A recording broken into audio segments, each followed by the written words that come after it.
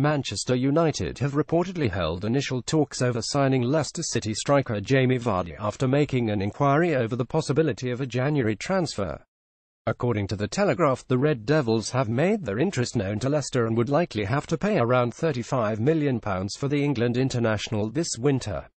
Vardy could be a superb short-term option for United up front, with the club in need of a replacement for the injured Zlatan Ibrahimovic to take the pressure off first-choice frontman Romelu Lukaku. This is all starting to feel a little like the summer of 2016 for the Foxes, who, on the back of the shock Premier League title triumph, faced interest in a number of the star players. Jamie Vardy is being linked with a transfer to Manchester United. N'Golo Kante ended up leaving the King Power Stadium for a transfer to Chelsea, though they now face fresh interest in Vardy and Riyad Mahrez, two other stars of the title-winning side. BBC Sport reported that Vardy turned down an offer from Arsenal that summer, while Le Buteur have recently claimed the Gunners are now in for Mahrez again.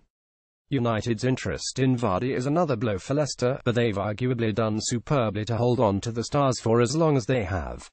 For Mourinho, the 31-year-old striker could be a fine addition in the middle of the season due to not being cup-tied in the Champions League.